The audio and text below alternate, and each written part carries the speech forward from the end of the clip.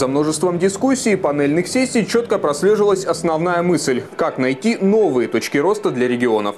В условиях снижения государственного финансирования субъектов России для последних поиск инвесторов становится задачей стратегической. Властям на местах с большей изобретательностью приходится придумывать, как привлечь бизнес.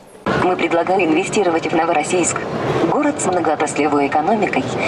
Краснодарский край впервые за все время проведения форума в качестве проектов предложил площадки предприятий банкротов. Вместо того, чтобы впустую обслуживать их содержание, решили отдать территории со всей имеющейся инфраструктурой под реальный бизнес. Впервые от Кубани были представлены проекты в области зеленой экономики, когда экономический рост связан с сохранением окружающей природы и ее ресурсов. На форуме в Сочи 15 таких предложений от развития альтернативной энергетики до производства электромобилей.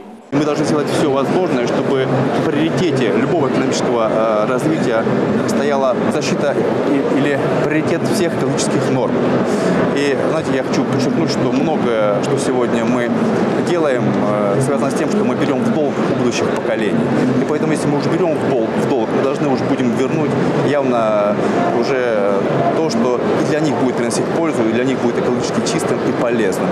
Конечно, инновационные проекты по количеству пока проигрывают предложениям в традиционных отраслях экономики. Для Кубани это курорты, строительство и агропромышленный комплекс. Сельское хозяйство, например, показало рост в прошлом году. Уровень субсидий в этой отрасли один из самых высоких в регионе. Но время требует новых механизмов поддержки. Об этом губернатор края Венимин Кондратьев говорил с генеральным директором агентства стратегических инициатив Светланой Чупшевой. Сельское хозяйство тоже на 6% но дало прирост по сравнению с прошлым годом. И здесь мы многие ввели э, новые э, механизмы стимулирования сельского хозяйства. Мы ушли от субсидий, вот так вот просто раздавая, мы пришли к микрофинансированию. И сам бизнес должен чувствовать ответственность за те деньги, которые он берет в бюджете. И у него должно быть четкое понимание, что он должен вернуть и при этом заработать.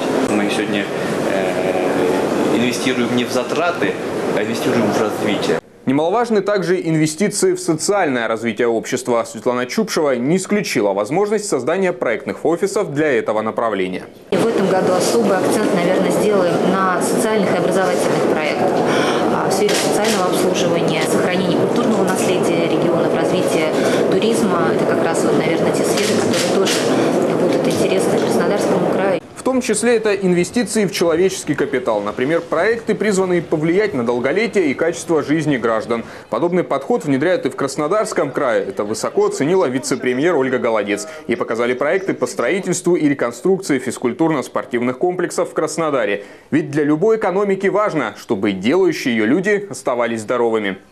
Александр Иванченко, Денис Москаленко, Денис Перес, Алексей Комаров, Кубань 24, Сочи.